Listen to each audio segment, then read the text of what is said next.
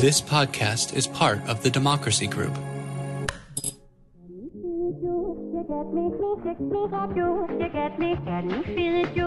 Welcome, welcome, welcome. We are talking politics and religion without killing each other.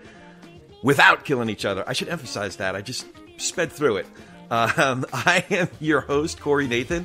It's an honor to be a part of the Democracy Group, a network of podcasts that examines what's broken in our democracy and how we can work together to fix it. Remember, it would really be helpful if you could write a review for the show. We love getting the ratings, those are great. But actually, writing a review, especially if it's an Apple, does make a huge difference in terms of our rankings, discoverability, so more people could participate in these types of conversations. More civil, more nuanced discussions about politics and religion and democracy and all this important stuff. And today we will be talking about some important stuff with Curtis Chang. Uh, Curtis Chang is a public theologian and consulting faculty member of Duke Divinity School, a senior fellow at Fuller Theological Seminary, very close to my heart and our home, actually. Um, he is the founder and executive director of Redeeming Babel, a ministry that helps Christians make sense of the wider world.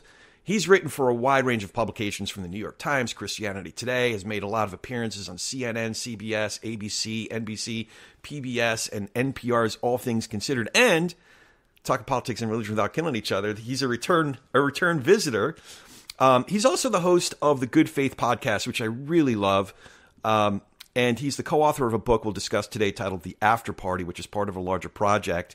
And just last year published a very timely, important, and success, and the book was very successful.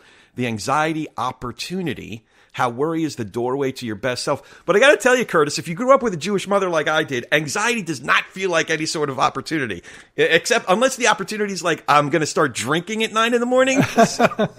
Help me understand opportunity, anxiety. What's that all about? Yeah, well, it's actually related to politics uh, in, in, in, a way. I mean, I think anxiety is a deeper human reality than just politics. But one of the reasons I wrote that book before 2024 when we knew that uh, my organization was going to launch this project called the After Party uh, with David French and Russell Moore, is that I actually think it's really important to make sense of anxiety in some ways before you try to make sense of politics and to try to have a healthier view towards anxiety before you try to have a healthier view of politics because so much of what is happening in politics today is fueled by anxiety. It is uh, where anxiety is driving it. Anxiety is being weaponized. Um, and so, uh, if you're not aware of that, this underlying emotional driver that is happening in our politics, uh, you can really miss what's going on. You can get caught up in uh, kind of head level talking, which again, that's important, but you miss that what's happening at the heart level. And as anybody who you know knows how the human uh, mind and s- body and spirit works, uh, the emotions are, especially when they're unknown, uh, are far more powerful than our rational thoughts. And so, yeah. if you can't surface underneath, again, like I said, the driving anxiety that is fueling so much of the polarization and hostility in our politics, then you sort of talk up here at the head level about issues, about different positions, about grievances, and so forth, not realizing that we're all actually really, really anxious and we're engaging with each other out of that anxiety. Yeah, you're, you're already hinting at something I wanted to explore with you today the what versus the how. But I, I, I want to follow up on what something that you just said. I, I think it was a conversation maybe with on Russell Moore's show uh, last spring, and you were talking about the measurable rise in churchgoers latching on to conspiracy theories. And I know you did some work in particular on vaccines, um, COVID vaccines, certain narratives. There, there are many other narratives. Um, great replacement theory or um, QAnon, QAnon, yeah, yeah. the, so the how, steal, you know, of the election, yeah. right? All of those Stop are conspiracy theories, yeah. So, how does anxiety connect with this uh, rise in belief in conspiracy theories? That's a great question. I think it's important to unpack that because it, it, it, perfectly illustrates the point I was just making. Where if you try to talk to people about conspiracy theories at the level of facts and fact checking, you really find you get very little progress because, again, driving the conspiracy theories is actually anxiety. To understand mm. the connection between anxiety and conspiracy theories, let's really first understand what anxiety is. Anxiety is a natural human reaction in the face of uncertainty, especially the uncertainty that may involve loss. Right? Basically, when we think there's a, something in the future which may actually inflict loss upon us, where we suffer a loss of something we value, that is going to is going to trigger the emotional uh, symptoms of anxiety, which which is a hard uh, experience to actually hold in ourselves, right? So everything in us wants to get rid of this feeling of anxiety that comes up, right?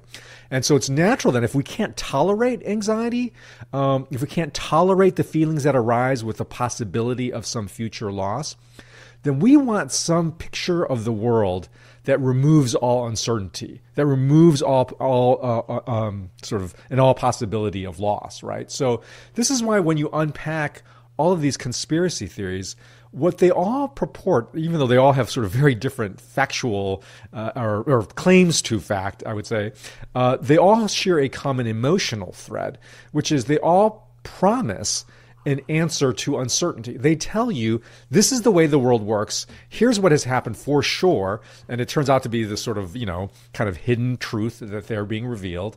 And a thread running through that is and if you uh, adhere to this conspiracy theory and follow its dictates, this will be the way that you get out of uncertainty and, especially in many cases, out of the possibility of loss. Um, so you take something like QAnon. It's like, why? This gets at the anxiety that a lot of people, a lot of Christians feel, understandably so, about you know the loss of our culture and whether our culture, uh, especially on values of sexuality, uh, are going to become harmful and inimical to our values, to our children's, how we want to raise our children, so forth. That's a legitimate anxiety. That's a real understandable fear. I, I have that anxiety, right? But what QAnon does is says, I'm going to give you the answer for why this is happening. I'm going to give you the precise coordinates for what, where, what is driving all this, which is this, you know, sort of secretive uh, cabal that, you know, exists uh, to promote pedophilia and all sorts. So it's, it's, it's a non, it's nonsensical in the sense of there's no claim to fact but it's deeply emotional in that it's speaking, I know you have this anxiety, it's subconsciously saying, and I'm going to explain to you where all of this is coming from and what we need to do. And, you know, we need to target this secret cabal, and then that will get rid of all of the possibility of loss that we feel, the loss of our deeply treasured, legitimate spiritual cultural values, right? So it's this weird, I guess it's not weird, it's in some ways it has a certain very logic to it in, in that what conspiracy theories do is, is it, it, it's a way for people to latch onto an explanation of the world uh, that takes care of momentarily their feeling of anxiety because it, it, addresses that sense of uncertainty. It gives them a very clear picture of the future, um, like, like QAnon, right? It tells you, it gives you very precise prediction on this date. President Trump will return to power, and then it, it's okay, great. I know I've got a I've got a clear picture of future, and Trump is going to save me from all of the losses that I fear. Um, and then, of course, but like any drug that only temporarily takes addresses, it's a short hit of certainty in the face of a world that has a lot of un- deep uncertainty. It's a short, hit and that, but it doesn't last. It doesn't actually address it. And so, like any drug, you have to keep going back for it for the next hit of certainty, of reassurance, of future you know clear predictions right that make you uh, assure you from from all your anxiety. So this is why conspiracy theories also have this common thread of being addictive that it, it really draws people mm. in and people get in deeper and deeper and they need the more and more information. They need about that you know more and more flow of content from this conspiracy theory because they, they're going back for more of the drug. Like conspiracy theories are like xanax for Christian anxiety. Oh, that's an interesting way to put right? it. Uh, and so it's like I, I, need to go back for the next hit to address yeah, it. Yeah, so. yeah, So uh, i am friends with folks who would call themselves atheist or agnostic. Uh, we might think of them as cynics, uh, uh, albeit secular cynics, um, who would say that once you once you make that leap of, in, in our case, um, uh, a risen Christ, a risen Jesus, right? A bodily risen Jesus, that miraculous thing that we believe in. Or some of the friends I go to church with, I am not a young earth creationist, but once you buy into a six literal 24 hour day uh, creation story six something thousand years ago, it's not really that much of a leap to think of Jewish space lasers, dead dictators zapping voting machines. you know, so how how might you, as as a Christian, as a believer, and how how is it the Holy Spirit? Are we de- are we um, depending on discernment from the Holy Spirit to make that distinction of I don't know. Now I'm sounding like a cynic, but what miracles we believe in and what uh, miracles are really conspiracies? No, I I think it's the exact opposite. I mean, we do not. The resurrection of Jesus is not a conspiracy theory. It is a historical. Uh, fact in terms Yeah. of now it's contention it's it's not Right. accepted by everybody but it's not rooted in some fantasy it is rooted in concrete historical realities that you have to contend with. Now as with all accounts of history uh, it's not like a slam dunk like all history is con- has is subject to contention. So i'm not saying every human being rationally must believe in the resurrection but we're not we're not just spinning this out of thin air. This is based on historical realities. I, I encourage people to read the works for instance of tom the theologian thomas tom wright nt wright Oh, which I writes about Tom the Wright. historicity of the resurrection and first in historical those- claims. the Yeah, first in those big volumes, New Testament Yes, and the ex- People of God, was so helpful to me to stabilize me on what I would say was a shaky faith early on when I Mm. was a Christian. And then the third volume on the on the resurrection, oh, Yeah. it's especially to what you're talking about. Yeah. G- good, good stuff. Sorry, sorry to interrupt you, but I just No, no, no. It's it's just Wright work. that uh, you know the resurrection is as is the furthest thing from a conspiracy theory. It's actually you know we invite people to examine the historicity of this actual event in in history, and so. Uh, yeah, I would I would just respond and say no. We're not. We're we're talking about a very different thing when we're talking about the resurrection. If you like this show, you should check out another podcast that I love Beyond Politics. It's entertaining, informative, and full of conversations with smart people with fresh ideas.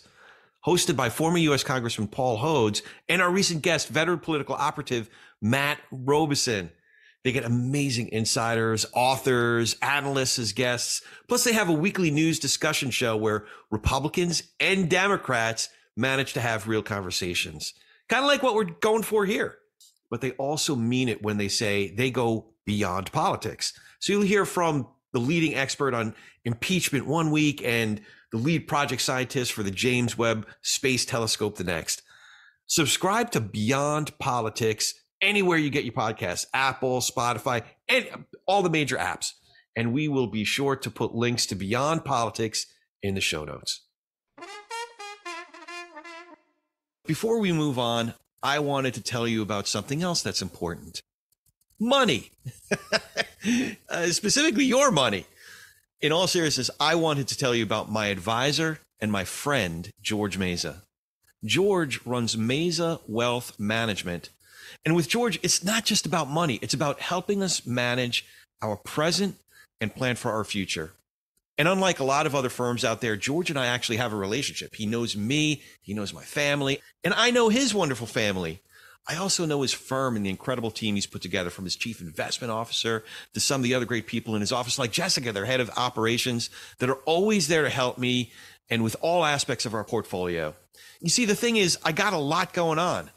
I guess we all got a lot going on, and I don't have the time to watch our investments all day, every day. And even if I did, I don't have the experience and expertise that George's team collectively has. So we get the entire Meza Wealth Management team, all their expertise and all their integrity. And again, it's based on George knowing me personally, knowing my goals, and even the kind of risk that's appropriate for me to take, which, by the way, could change uh, from one season to the next. And they're on top of all of that. So if you want George Meza and Meza Wealth Management to be on your team, just visit their website, mezawealth.com. That's M E Z A wealth.com, www.mezawealth.com. And that will also be in our show notes, so you can check that. And now, back to our show. You, you know, so since you bring it up, I, what I especially appreciated about the the the bigger volumes, um, but also all of his more, uh, you know, his 200 page books, not just his six and 800 page books, was that um, Tom Wright risked, he went into that inquiry risking the possibility that he'd come out the other side as a historian having shaken his faith. And indeed, he had a much more nuanced faith on the other side, but I, it, it was a more deeply rooted faith because of the academic history work that he did. I, I, I'm curious though, you've at times you describe your experience as um, disengaging. You, you, refer to yourself as you, are the cynic of the you know the triumvirate that started the after party, right? Um, has there been a time in because of our brothers and sisters in the church, how many of them have behaved? Frankly, has it given you? Has it shaken your own faith? Um, I I don't think it's shaken my faith in terms of the you know if what you're asking is has the current scandals uh, divisions, uh, toxicity of the church shaken my faith. I don't think it's shaken my faith. I think it's more, uh, like I said in the, in, or I will say in the book coming out, where I, I write about my own journey, political journey, um, out of cynicism or into cynicism and out of cynicism. Uh, I think it's more that it's actually clarified that the faith that we believe in calls us to engage with the world, right? So the the the posture of the cynic, which I have, is one of disengagement from the world. It's the one that says, "Hey, look, politics and everything else in the world, it's hopeless. I know." And you know, it's it's both a combination of low hope and low humility. So there's there's right. low humility in that because like I know I can really see better than everybody else, and it's low hope in, in that one thing I'm sure of, and what, what you all losers don't see is that this is all hopeless. You're you're you're you know. So the cynic is the one that's disengaging from the world because he says I see better than everybody else, and everybody else is who is involved in politics or cares about politics um, doesn't see how hopeless it is. So that actually is not the Christian view because, really, uh, in some ways, because of what we just talked about with the resurrection as being something that is in history. It is not the, the, the promise of Jesus and the resurrection is not, I will take you away from this world but it's actually I have come into this world to transform this world. I've come into mm. death to have victory over death. So it's not, and this is again where the Tom writes great gift to Christians is to reconfigure the gospel as something that is a suck you out of the world into some disembodied, out of time and space and history heaven out there, but rather heaven, God's realm, coming into the realm of human space, time, and history, and where God most decisively engaged with history and with, with human politics is in Jesus' death and resurrection.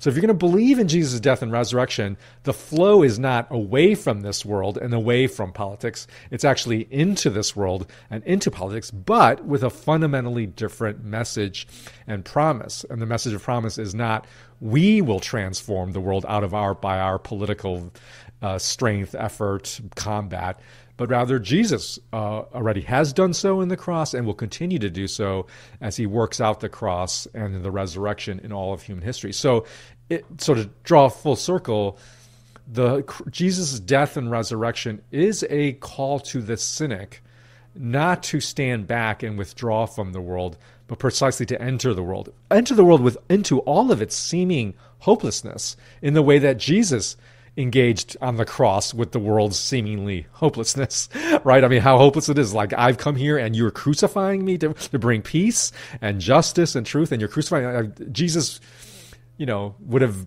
uh, had highest claim to say, to be the cynic and say, this is hopeless. Humanity is hopeless that they would do this to me. And yet, he said, you know, Father, forgive them, for they know not what they do. And he extended himself into uh, into the world to his very last breath. And so that is a very profound invitation to the cynic to say, hey, you think you see deeper? You think the world is hopeless? Look at Jesus. He did not withdraw from the world, but embrace the world. And so that's that's the call to me as a cynic. So this is such a great preface to why the after party. So I, have been reading the book. It was such a treat to read it. And by the way, I can't wait to talk to Nancy. Uh, she's coming on uh, the show in a couple of weeks. Um, your co-author of the book, Nancy French. There are a number of other videos, study guides, other resources that you and the team have created. So um, maybe as a as a pre, as an introduction, yeah. can you go through exactly what the after party is, who it's meant for, too. Yeah. Um, and the problems that you're trying to address with the project. Yes. So the after party is a is a project started with David French, uh, Nancy French, and Russell Moore, and myself to equip Christians to have to move towards a better Christian politics. So I'll talk a little bit about the substance of the message, but the format is uh, several formats. So the format that's already out is a video course, a six session video course that small groups or even individuals can take. Um, so, for those listeners who are familiar with Alpha, which is a very popular course that a lot of churches take, uh, Alpha, our tagline is what Alpha does for evangelism, the after party wants to do for politics, right? So, it's a trusted, high quality resource that actually you can just run in small groups, Bible studies, prayer groups, just friends, families, or take it yourself. Um, six sessions and um, it's just so well produced. I'm so proud of it. Uh, it was produced uh, with, for, with by a 10 time Emmy Award winner, uh, D.T. Slouffman. And that's the first offering is the uh, is the course that's out now, and you can go find it on after-party.org. That's after-party.org, uh, and it's free, completely free for anybody to take. The second version will be the book that I, I co-wrote with Nancy French. Uh, that's like a companion volume for people who prefer to engage with material directly uh, a, by reading a book versus taking a video course. Uh, that's coming out in April. And then we also have a very special uh, third element, which is going to be a set of songs, worship oh. songs, oh. on it's called Songs for the After Party, which will be coming out in April. Also, we just uh, recorded. Not me. I, I am not the song. I was, I was just I was meeting with with some a group of uh, Christian songwriters called Porter's Gate in Nashville uh, just that last weekend, and uh, it's going to be amazing. It's going to be some wonderful songs because right now. If you were to ask, well, what's a healthy, Jesus centered song we can sing about our health, our Jesus centered view of politics, we, there isn't really a lot of options. Not a lot of options. Like I would not recommend seeing, you know, "Onward Christian Soldiers," for instance, as our battle, you know, as our worship song for Christian politics. Right. And so, you know, we need something better. And so, we're going to be producing a worship set. So it's going to be a, a video. It's already a video course. It's going to be a book, and then it's going to be. Um, uh, a set of songs. I can talk more about the substance of the message of the after party if you want. Uh, Corey, tell me where, where, you want to take this conversation. I will. I will. I do have yeah. some specific questions. Yeah. We'll get into it. I do want to leave some questions for Nancy when she comes on the okay. Very too. good. Yeah. But but I was curious. Uh, so I I remember a story. I think you told how you and David met. Uh, doing fantasy baseball or something like that when you were in grad school. I was, so I was curious if you could share again how you all met and how this conversation came about uh, yeah. that led to the after party. So I've been friends with David French for over 30 years. We're part of a fantasy baseball league that runs that long. That a group of guys starting from law school that uh, you know are very close friends. So David and I are, are, very close, and of course we started the podcast Good Faith yeah. podcast together. That then he handed it off to me when he went to the New York Times.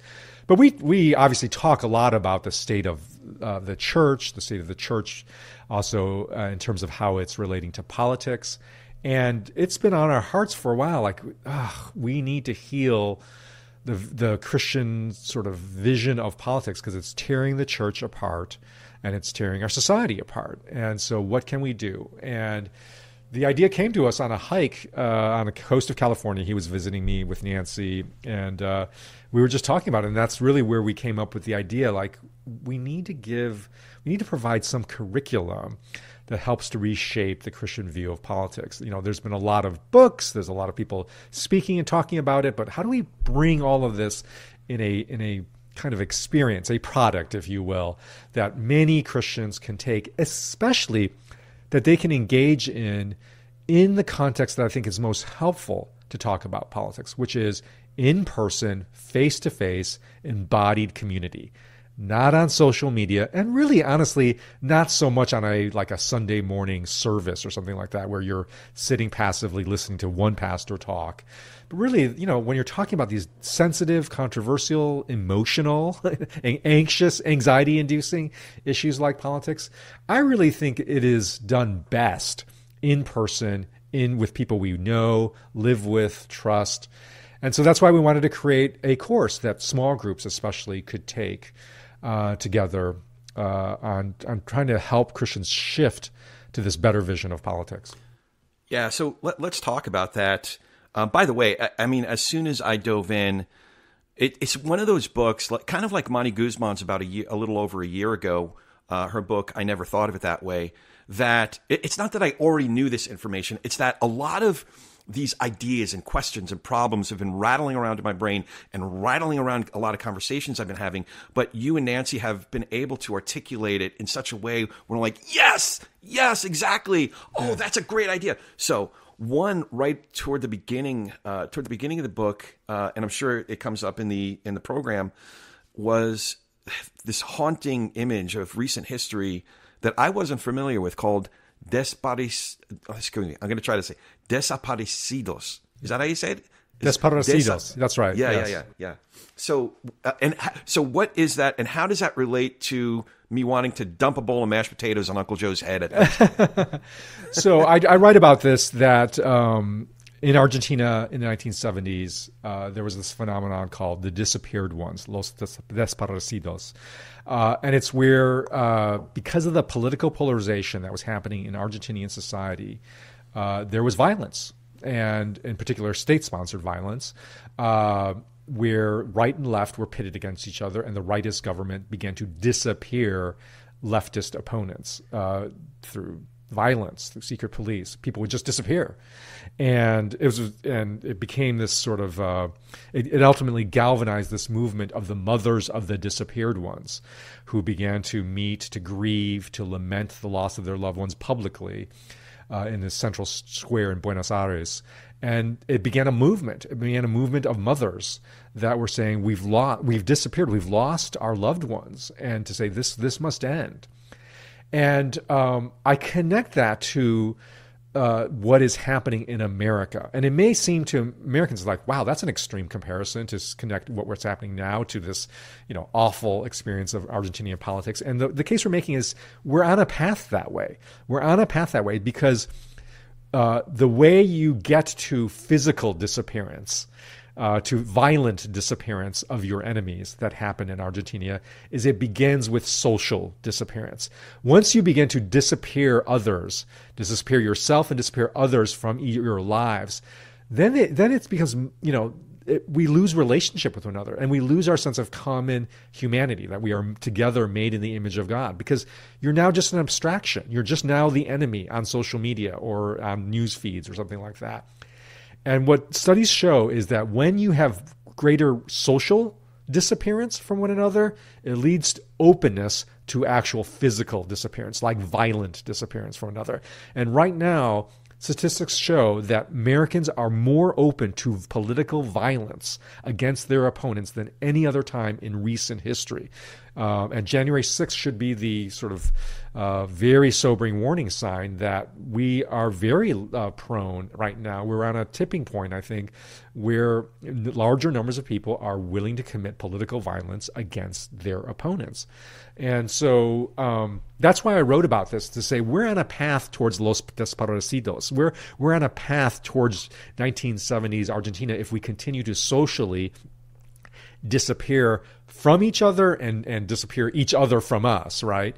And that's happening all over. It's happening in our family gatherings, our friendship networks. We are starting to cancel each other, either, you know, uh, very explicitly or implicitly, not inviting people, not seeing people, not gathering together in family holidays because of political differences.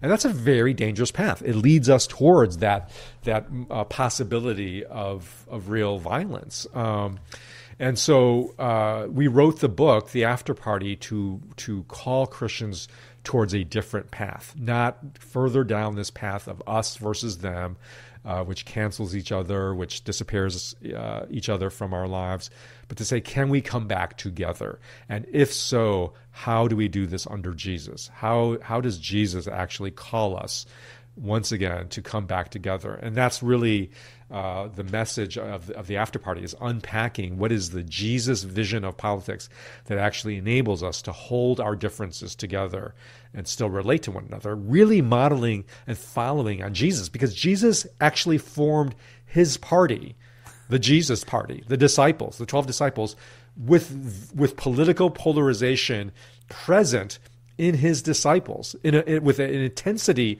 of political division that would actually, you know, uh, make our political, our right left, Republican versus Democrats, pale in severity. So it's not like Jesus is not familiar with or not engaging with and speaking with political polarizations in in the way that he formed his first uh, group of disciples, his first most intimate party. He was dealing with political polarization.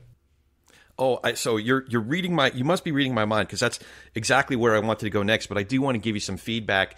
Uh, I think part of the goal is to get folks thinking, to kind of shake up our assumptions and dust off our you know comfortable polarized positions and it got me thinking about a lot. Number one, when I first became a Christian over 20 years ago, my father won't uh, fess up to this, but my mother actually told me that he considered doing what's called sitting shiva. Uh, We, grew, as you, you might remember, remember, I grew up very observantly Jewish. Yeah. Um, and I give my dad a lot of credit because he ultimately came around to the fact that he his relationship with his son was mm. more hmm. important than even not just theological convictions as Jews. It's our heritage, it's our family, right. it's our blood, it's That's our right. history, it's politics, it's everything. Yeah. So he valued. He he was like the predecessor to what you're talking about. That's right. He valued our relationship. Yep. Over over a what you know this, um, but also it got me thinking about relationships that could have been lost. Uh, one came to mind just um, not too long ago. I said something on a buddy that we were in a, a Bible study with or a, a Sunday school class with for over 10 years. We raised our kids together like we were close. And I said something on a one of his threads um, just to push back a little bit. I, I didn't think I was being too much of a jerk, but he blocked me. And I just, I wouldn't have it. I, I would not have. It's not that I wanted to pursue him to convince him that I was right or to get into a debate. I was like, yeah. Rod, we're we're like we're people. Like we're yeah. we're mishpacha. The word that comes to mind is mishpacha, the fa- the you know family. I love it. Way. Yeah, yeah. Um, and and I pursued it, and he wouldn't have it. And finally, I brought in some other brothers from that class. Mm. Um, and uh, when the the good news is, we fi- he finally would respond to uh, an email. We ended up getting together. I went to his office, and as soon as we saw each other, we both were in tears. We're like, what are we doing? you know, are, like exactly, exactly. What are we what doing are we doing? Yeah. No, no, So- no. I, I love that notion of what your dad talks about sitting shiva, because that's uh, uh, just for I think everybody who doesn't know, as I understand it, that is when family and friends gather together to mourn, right? Like we mourn together the loss. And I think that that is actually why I opened the book with that story uh, of the mothers of the disappeared ones in Argentina, because their first act was really just to in, in, the Argentinian version of sitting Shiva. They gathered Yeah. together to mourn the loss of their disappeared ones. And I think we need to do that. Uh, the course, the, the after party course, and the book begin with this exercise of just naming the relationships we've lost because of politics and grieving that, mourning them, longing for the people we lost. Because we need to recapture this human sense of like, wait a minute, I, I, I value this person, I love this person, and we've lost this relationship because of politics? Like is it really worth it? Is that is is my conviction that i am right on this political issue so important to me that I will disappear this other person who i otherwise have loved and who i've otherwise treasured? Is it really that is that what god is really calling us to do and I love your description of that moment because I think once we rehumanize each other, and, and no better way to rehumanize each other than to see each other face to face, which I, I which is why I love your example of you insisting we need to we need to look at each other in the eyes, right? Yeah. Uh, not through our positions on social media, but look at each other in your eyes, feel each other. There's something just enormously connective and human about that fundamental interaction that we need to recapture that suddenly everything else, all these political abstractions, it's not that they're not important. It's not that they don't have any value, but they suddenly like shrink back to their proper space and size. Um, uh, and that's really that's the experience what we need to do. That's why the after party is trying to call Christians back into engaging with each other face to face in person around a vision of politics that properly resizes all these issues um, and and and um, puts them underneath in importance to to the Jesus vision of of politics, which is not the same thing as the Republican or Democrat vision. It's a very different vision, uh, and so that this is this is what our hope is. Yeah. Now you brought up some illustrations that uh, in the Gospels uh, that it's not that I didn't notice them. I've read through the I don't know how many times I've read through the Gospels now, but one in particular you you alluded to just before. Uh, I've read through the disciples, the the naming of the disciples. Yeah. Yeah. I never quite picked, even though I've read, you know, uh, Tom Wright's uh, N.T. Wright stuff. Yeah. Um, I never picked up on t- Matthew the tax collector and Simon the zealot. Yeah. How how like could, could you dive into that? But also while you're doing that, there's another um, another illustration that's sort of related to that: the profundity of shared meals. Whether it was the seder that was the Last Supper, or you know the the resurrected Jesus um, saying you look troubled, but then the next question is, do you have anything to eat? you know, what is the profundity of shared meals across our differences, yeah. across zealots and tax collectors coming together? Okay, you're asking two questions. Let me answer them both in I sequence here. No, no, no. Um, so this is something that, that Christians who have read, read the Bible, like sounds like yourself and myself, I would say included, we just often skip over. So when Yeah. Jesus enlists his disciples, uh, of his, and again, this is his party. This is the people that he traveled with, that he that he hung with, uh, that he ate with all the time. Uh, the the twelve. There's a list of them, and most of them are listed by the classic Jewish way of identifying somebody, which is son of so and so, brother of so and so, right? Your family relationship is your identity. Hanan Yeah. Yisrael ben, ben Chaim Reuben. There you go. Uh, so- there you Nathan, go. ben, son of uh, Ronnie Nathan. that's right. That's right.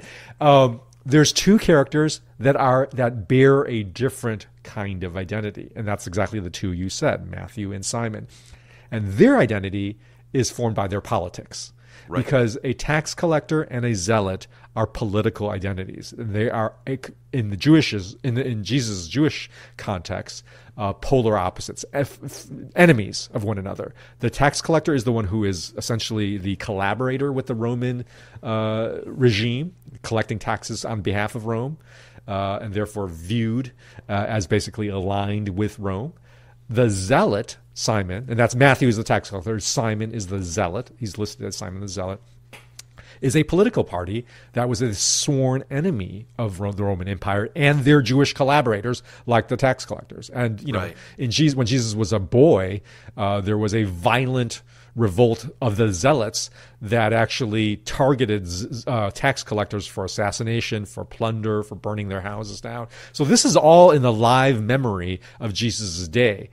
And yet, Jesus very deliberately, everybody's named by their normal identity except Simon and Matthew. And, and so, what that tells you is one, everybody knew that Simon and Matthew were, were, were like politicals. They were known by their political identity. That's how they were identified.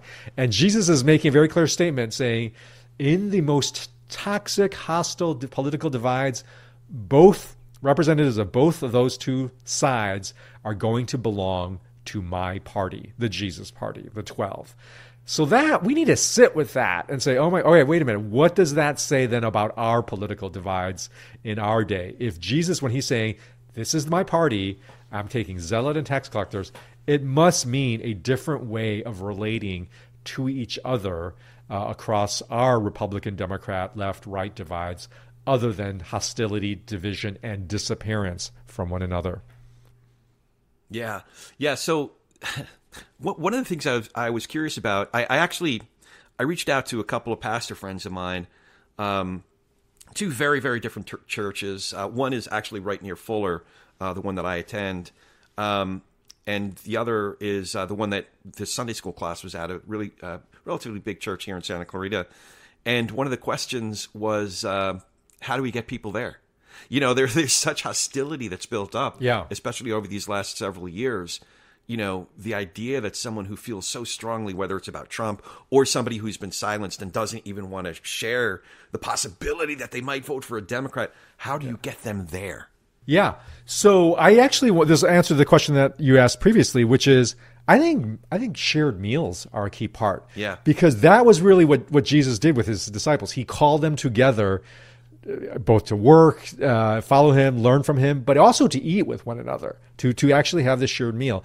And of course, he gave that the the the communion meal, the, the Eucharist, the breaking of the bread together, as as as an enduring symbol, uh, the enduring enactment of his kingdom for his disciples to keep doing together. So Jesus wanted his people to break bread together across differences, united mm. around him so united that he became the meal. He became the feast that everybody that that that that that uh, the Christians across political divisions were to gather around. So when you ask the question of how do you get people there, I think a, cr- a crucial strategy for us is again the small group gathering gathered around the meal. So I, I think a beautiful way to do the after party is let's do a potluck first. Do a potluck yeah. first, and then after we're done with the potluck, after we've broken bread, then let's go through the course together. Um, and I think the the you know, and scholars have studied this. The just the act of eating with somebody establishes a deep physical, concrete, emotional, psychic bond that is just very mysterious, right? I think this is why Jesus said, you know, you must eat of me. Like there's a communion, literal communion that happens when we commune with each other across uh, a meal, uh, across a shared meal. And um, so I would strongly recommend folks to try to do the after party in a small group uh, with a potluck beforehand. That's great. That's great. It is true. And it's, it was one of those um, ideas that I, I've been thinking, oh, yeah, that's that's why that works. And what I'm referring to is a lot of time I'm I'm in the thick of it. I'm always just the nature of what I do. I'm I'm always in the thick of it, whether it's online or you know responses to conversations I've been having on here. Um, but sometimes it'll get really heated. Uh, first of all, I will try as much as possible not to engage with someone. Number one, I won't engage with somebody who's anonymous. Um, but number two, I do try to focus on people that I have relationships with. Um, if there's an established relationship already, we already have some sort of context where we're risking something, but we also have some love in the bank, if you will. That's right. That's right. But yeah. but if it gets heated, I'll often IM them, message them offline, and say, "Hey, man, you want to g- grab a beer? Mm. I'd love to buy you lunch or something. Let's yeah, let's get that's together." Right. Sounds, that's right. Sounds like yeah. this isn't 240 character kind of a conversation. No, that's right. The more we can move our conversations around politics back to the in person uh, engagement, and I think also move it also where you are responding to something else side by side together. Oh, In other words, right. there's a difference between when you are doing face to face and you're right, where you right. why where you're you're it's like I believe this, you believe this, and so you're immediately pitted against each other across difference. It's a very um, subtle, but I think significant shift to shift from the face to face, you know, where you're like, I think this, you think this, to rather go side by side, shoulder to right. shoulder, and you together are responding to something else. And your differences then are all understood in response to to a higher vision, a higher call, rather than just your your positions on X, Y, or Z issue. And that's also, again, that's what we're trying to do with the after party is to get people side by side looking at our context, our content, um, which is not about specific p- what issues, specific policy or ideological or party or candidates, but it's looking, it's, it's, it's a higher vision of Jesus and his higher vision of politics. And if, if people can then, you know, kind of look, go side by side, then I think they can properly hold their differences with one another more easily um, yeah. in that posture than face to face. There's a funny uh, thing that's been happening recently on some of our uh, threads online, and um, it was in response. I, I, I lost my crap. I, I, just I lost it at, one point because this guy that I haven't talked to in like five years or more, all of a sudden popped up, and he was just being like a bomb thrower, and um, I was like, dude, you, you haven't even liked the picture of my kids or my dog. And I, I, don't know how many years. What are you doing coming in here and you know being a rabble rouser? So a few people on that are regular contributors, uh, they they pop in and they'll drop in a picture of their dog. Hey, my dog says hello if it's getting too heated. Um, before we uh, start to wrap it up, um, I was curious if you could. One of the frameworks that was very helpful for me um, was the competent uh, or combatant, the exhausted, and the cynic. Mm. Can you describe those categories and yeah. who who should we all strive to be? Right. So so back up for a moment again, just to re- reiterate. that the basic move that the after party is inviting Christians to do is to move from this overwhelming emphasis on the what of politics to the how of politics. Wow, right. So the what of politics is what ideology, what party is the more Christian one, what what policy is the more Christian policy, what candidate is the more Christian candidate, the what of politics. We're not saying that that's not at all important. We're saying that we have become so preoccupied in the what that we have lost sight of the Jesus how the how of politics, which is as important and really in, in, many ways more important than the what of politics. Not that the what is important, but the how we've we've sacrificed the how. And the how is really about our spiritual values that we bring to politics. And and especially those spiritual values that govern our relationships and the pra- relational practices we engage in. So if you think about the what as ideology, party, policy, the how is spiritual values, relationships, relational practices. And the sad thing is that increasingly Christians have been willing to uh, sacrifice and ignore Jesus' teaching on the how in order to try to win on the what. When actually, if you look at Scripture, Jesus is much more clear on his spiritual values and his relationships that he wants Christians to have and the practices that should govern those relationships than he is on like oh yeah, Jesus says the the right Christian border control policy is X, or the right policy on military, def, you know, spending, or you know, whatever. Uh, um, so so Jesus is much more clear on the how, and so the how central to the how is the spiritual value of hope and humility, and if you put the values of hope and humility uh, on this sort of two by two grid, you end up with this sort of a two by two of where uh, you can locate, I think, a lot of most people in, in, politics. And so, in this two by two, if you put hope and humility on two by two grid, the person that is high in hope but low in humility, that's the combatant, right? Because they're hopeful, they think they can win. Uh, but they're not very humble because they think their side, they themselves, are right and everybody else is wrong, right? On the other side of that, you have somebody who is high in humility but low in hope. That's the exhausted person. That's somebody who they don't think they're they've got all the answers but they've given up because they think it's hopeless, right? That's the exhausted. And then the cynical is low in hope and then low in, in humility. I've described that person already. That's the person who thinks, you know, I know better than everybody else. I see more deeply than everybody else. And what everybody else misses is everything is completely hopeless. So they're both low in hope and in humility. And these three quadrants, um, with the fourth quadrant being the person who is high in hope and high in humility, we call the disciple. Right? The disciple is the person who is humble. I need to learn. That's why I'm a disciple. The disciple literally is a learner.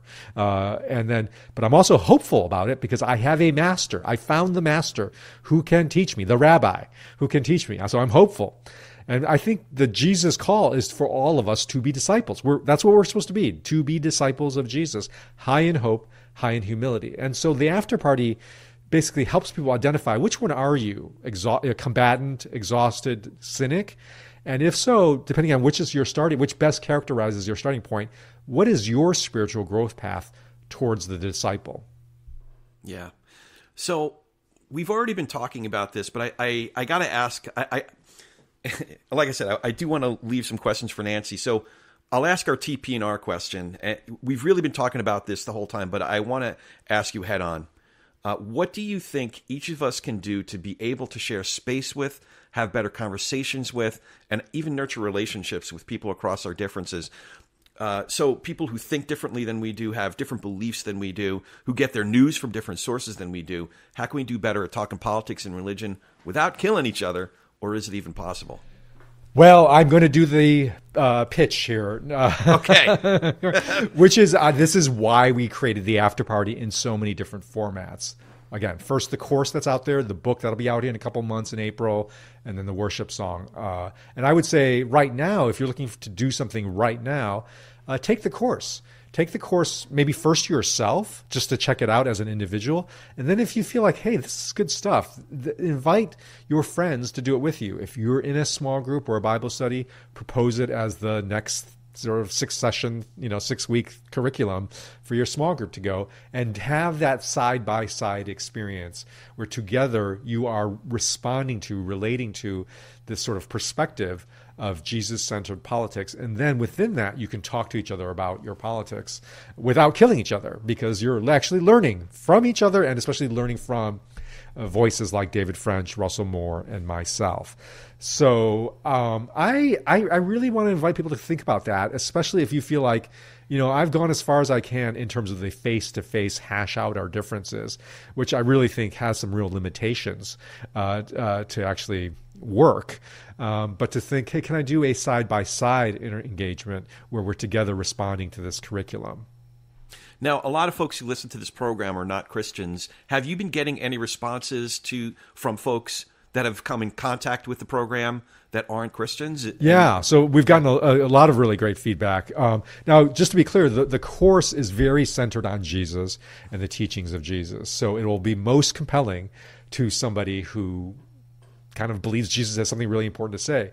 But I'll just give you an example. Uh, one of the editors that worked, that did the video editing uh, on this course, as far as I know, not a, a, a you know self-described Christian, but he said this is the most one of the most important, hopeful projects that he's worked on in a long time. Because it gives you a picture of how we can relate to politics that I think deep down anybody, not just a Christian, but a human being, longs for. Like none of us really likes this sense of division, disappearance, and hostility that characterizes, but we feel trapped in it. And yeah. the the vision that Jesus has that we don't have to live this way. I think even for somebody who's not sure what they think about Jesus and who he is, I think at least is like, well, that's that's that's worth listening to. That's worth at least considering, and that's at least a hopeful alternative to what we have today. Yeah, no, I mean, there's been a lot of work um, Tim Alberta uh, wrote a really important book that came out a couple of months ago. Robbie Jones had one that came out in September. Uh, so there's been a lot of work that is diagnosing and, and describing the problem. What I really appreciate about the appreciate about the after party is that this is this is medicine. you yeah. know, you're you're introducing the antibodies that we need in order to be better. You know, to, that's right. Um, to participate in in you know this rede- redeeming the world you know? Um, do you have any questions for me? Yeah i want to ask you um, what do you think is the appetite for this among christians? And and you know where what are you picking up as kind of hunger for a different view different approach to politics among christians? I think that there's a lot of pent up calluses, resistance. Uh, folks are sorting themselves in all kinds of ways geo sorting, church sorting, um, it, it just so that they don't have to be around this image or illusion of a them. Uh, yeah. You know, they can't even stand to be around them. So that that's really, I think, the biggest hurdle. But again, as I described that story of me and my buddy Rod coming together, once we get together, it's like New Yorkers. The way I think of New Yorkers is we're all kind of tough. We got this like thick skin because we got to be. We got to figure out how to get on the subway, get off the subway, get a cup of coffee, you know. But once you pre- penetrate past that thick skin, it's amazing how soft the heart is. Yeah. You know? Yeah. So if, oh, if we could just get them there and have the beer, have a cup of coffee, have have lunch, have a challah on a Friday night or whatever, you know, whatever your choice is, once we're there and sharing space with, sharing time with, sharing a meal with, there I think there are soft hearts that are just hungry, hungry for connection, for remembering, for yeah. that we're members of the same community right. and that right. we remember that. each other. So Good stuff, Curt. I just I love talking to you, man. You just reading your stuff and just talking to you. It just it really it's encouraging. It gets me thinking. It challenges my assumptions. I'm convicted. Like when I read uh, Nancy's story about Kathy. Oh, um, yeah. I, I before I even read the rest of the story, like at the top, I just read the description of how Kathy was trolling David. I'm like, I got to look her up and give her some crap. but that was like convicting to me. I'm like, oh man. All right, well, save that story for when you have Nancy on. Say, I will. I will. Yeah. I will. Very good. Hey, it's great talking with you, Corey. I really appreciate your your work that you're doing here uh, with this podcast. It's we just need more and more voices uh, like you out there. So thank you for for stepping up. So before you go, how can listeners find you online? Learn more about the after party, redeeming Babel, and all the great work you're doing? Yeah, go to afterparty.org, after-party.org to check out the course, the after party, and encourage you to just check it out and and uh, sample. It's completely free. Uh, awesome. Sample one session and see if this is something that might be helpful to you personally, uh, or and or to your small group or other sort of you know community that you're a part of. Uh, and then also invite everybody to join us every week uh, on uh, the Good Faith podcast, where we talk about this and many other issues, uh, helping Christians make sense of the world. On the Good Faith podcast, you know, available on any of your streaming platforms. It's a great podcast. We'll be sure to uh, share all of those links uh, in the show notes. Thanks again, Curtis. This is great, man. So good to be with you, Corey. Thanks. You bet. And as always, uh,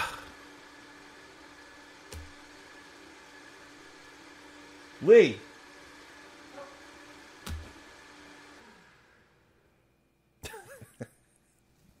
I might keep that in the recording.